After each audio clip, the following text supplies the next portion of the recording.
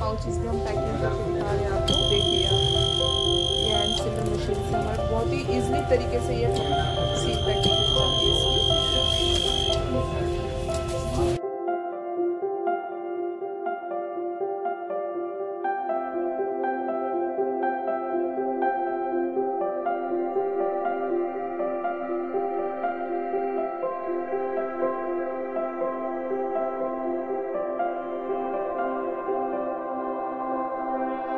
Thank you.